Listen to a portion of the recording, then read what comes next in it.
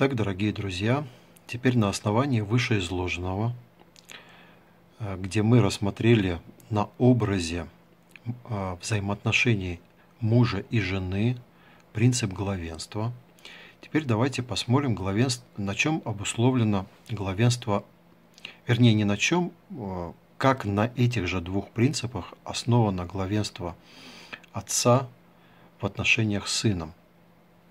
Оно обусловлено тем, отец предшествовал сыну и был источником для сына, источником всего. И об этом говорят следующие тексты. Евреям 2.11. «Ибо и освящающий сын, и освящаемые, то есть верующие, все от единого, то есть от Отца». То есть вот на этом э, понимании основана а, истина о главенстве Отца. Далее. «Из которого все и мы для Него» который над всем и через всех и во всех нас. Все из Него, им и к Нему. Вы же Христовы, а Христос Божий. То есть э, во всех этих текстах показано, вот, э, показаны вот эти две идеи, э, два принципа того, что Отец предшествовал Сыну, а также был источником всего, абсолютно всего для Сына. И именно по этой причине, именно в этом смысле обусловлено его главенство. Именно так и понимали а, эту истину наши пионеры, пионеры адвентистского движения. Перед вами фотокопия из а, статьи Джеймса Уайта «Ум Христов», которая была э, напечатана в 1881 году. И вот брат Джеймс пишет, «The father was greater than the son». Значит, отец был э, более сына, э, in that he was first, в том, что он был первый, то есть, можно сказать, прежде. Такой смысл. The son was equal with the father in that he had received all things from the father. Сын был равным отцу в том, что все он получ... все получил от отца. То есть обратите внимание, как здесь вот очень гармонично увязываются вот эти две идеи о главенстве отца и о равенстве сына. И эта истина, она также очень хорошо представлена на примере Адама и Евы. То есть отец более по той причине, что он первый, то есть что он до, э, существовал прежде, можно сказать, и тем, что он все дал сыну. А сын равен отцу в том, что он все от отца получил. И, и по этой причине, получив все от него, он теперь равный ему. И далее брат Джеймс продолжает что читатель может смотреть на отца и сына, используя общую э, фигуру или, как сказать, общий образ, можно так сказать, великого э, созидательного и э, законодательного, э, законодательной фирмы или э, учреждения, можно так еще. То есть отец и сын, они вот вместе представляют великое э, законодательное Э, и э, э, учреждение, значит, творческое и законодательное. Вот. Это очень интересная цитата, и она очень многое поясняет нам и сохраняет нас от опасности унитаризма. Однако это другая тема, я не буду углубляться сейчас в нее. Сейчас мы рассматриваем именно истину об отце и сыне с точки зрения сотворения мужчины и женщины. Итак, возвратимся в первое послание к Коринфянам, в одиннадцатую главу, и поставим следующий вопрос. Являются ли отношения мужа и жены параллелью отношениям Бога и Его Сына? На основании третьего стиха – да. Мы читаем. Хочу также, чтобы вы знали, что всякому мужу глава Христос. Жене глава муж, а Христу глава Бог. Обратите внимание, что апостол Павел учит, что существует, во-первых, э, определенная параллель. Он показывает вот на параллели, да, э, существует параллель. И вот на основании этой параллели он показывает, что существует определенное главенство. Можно даже сказать субординация. Но субординация, э, и это слово надо понять в верном смысле, не лишающая сына равенства. Поэтому лучше, наверное, назвать слово главенство. В отношениях между Богом Отцом и Христом, по образу которой устроены отношения между мужем и женою, а также между Христом и Церковью. И это хорошо показано вот, в следующей э, иллюстрации. Давайте обратим внимание на нее. Вот. Мы видим Адам является главой Евы, одна плоть. Христос – глава церкви, один дух, и Отец – глава Христу, тоже один дух. Вот Э, как бы такую интересную параллель э, мы видим вот в этом, э, в третьем стихе первого послания к Коринфянам. Вот, вот данного стиха.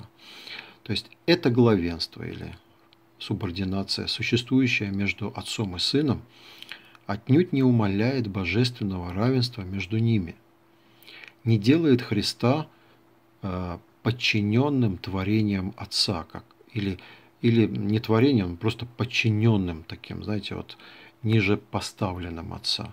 Нет, потому что выше мы уже читали, что Ева, она при всем этом, она была равная Адаму во всех отношениях. Вот. В особенности, если смотреть на отношения с точки зрения детей. То есть Ева обладала э, не только одной природой с Адамом, вот. Одними, мыс... Э, одними намерениями, одними э, мыслями и даже характером, да, вот, но также и властью. Дети обоих воспринимали как равных в равной степени своими родителями. Вот.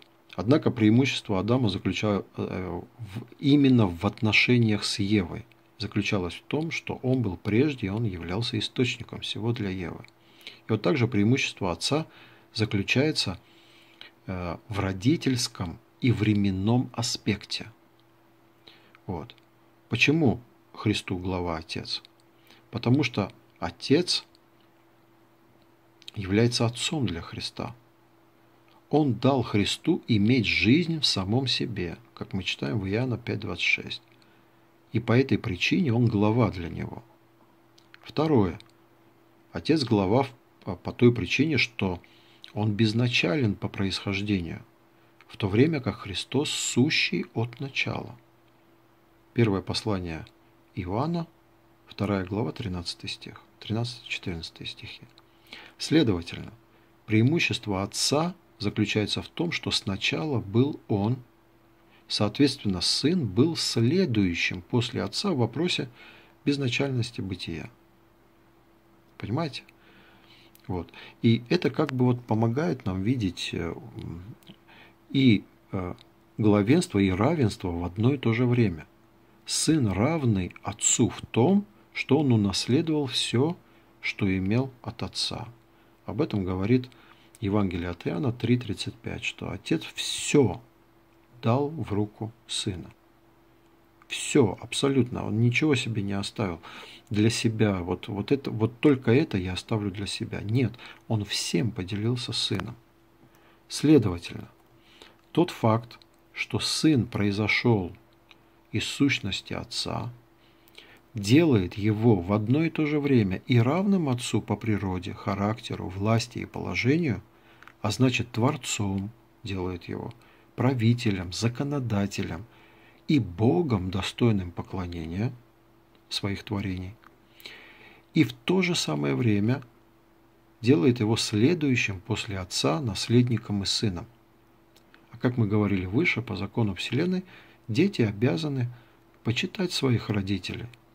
Следовательно, в отношении к творению, внимание, Христос – Бог, равный Отцу. А в отношении к Отцу Христос – послушный Сын, следующий после Отца и почитающий своего Отца. Вот такой вывод мы можем сделать э, из нашего предыдущего э, выше изложенного э, отрывка исследования. Вот. И я прошу обратить внимание на это, чтобы мы действительно держались вот этой середины, чтобы мы не уклонялись ни в одну из крайностей. Священное Писание, оно показывает, что во Христе полнота, в нем примиряются все, э, так скажем, противоречия, э, которые э, для человеческого разума выглядят как противоречия. Но в божестве, что касается божества, да, то там никаких противоречий нету, и все оно примиряется во Христе. Вот. Христос является центром всех доктрин.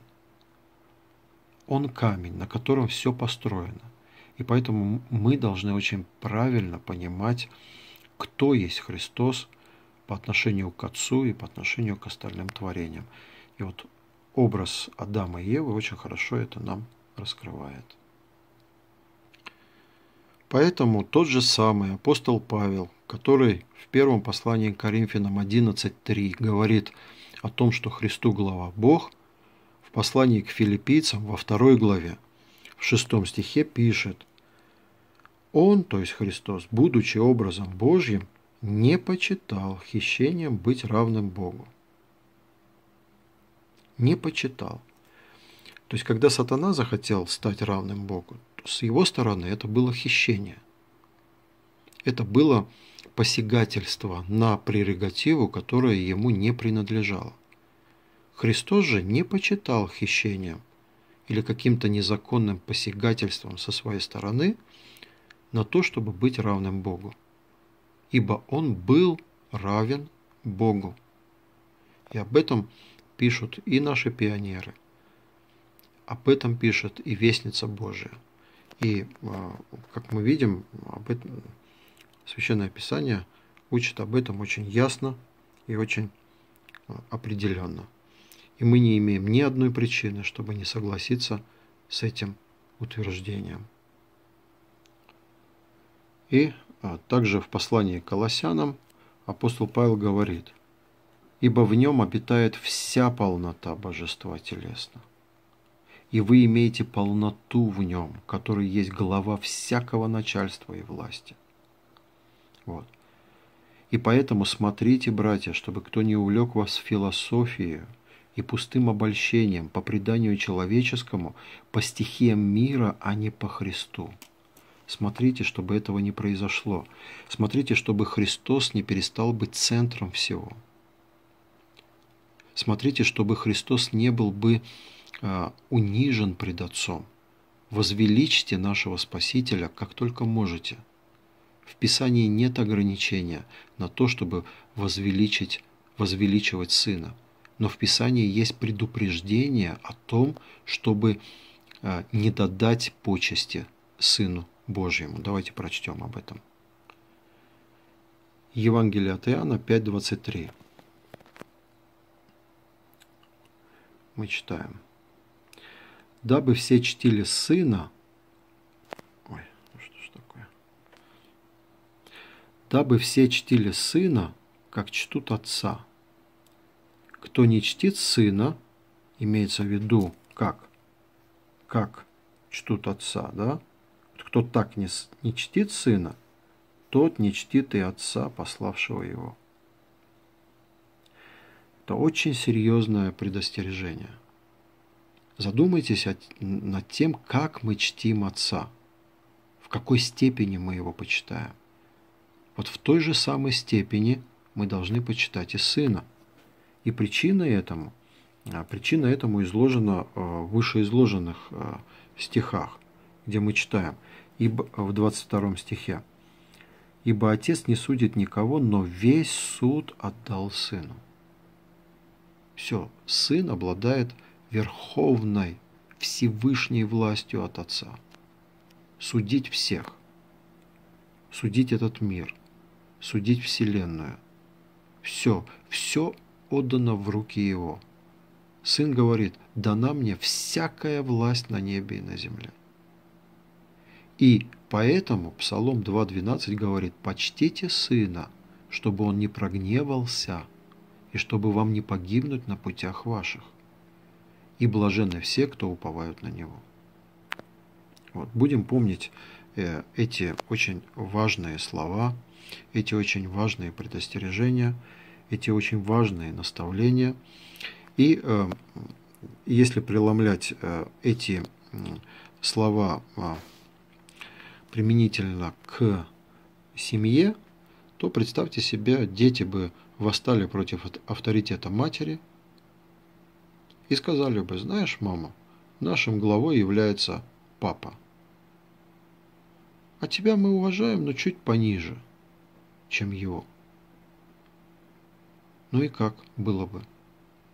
Вы считаете, это правильно было бы? Я считаю, нет. Я считаю, что для детей авторитет обоих родителей равен. Оба являются в равной степени их родителями и в равной степени должны быть почитаемы и уважаемы. А то, каковы их отношения между собой, это уже личные отношения мужа и жены. Также и это является личными отношениями отца и сына, личным отношением отца и сына а, между ними. К творению это никак не относится. И творение не имеет права смотреть на сына с точки зрения отца, как отец к нему относится, как к своему сыну, да, как глава. Вот. Творение обязано смотреть на сына, как творение смотрит на Творца. И учиться у сына тому, как он относится к отцу, и во всем относиться к сыну так, как сын относится к отцу. Ибо в этом суть библейского монотеизма.